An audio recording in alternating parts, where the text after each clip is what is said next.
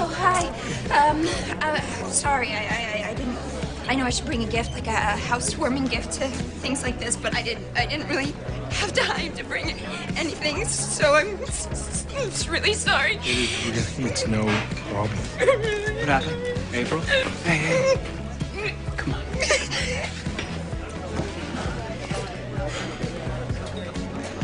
Has anybody seen Cristina?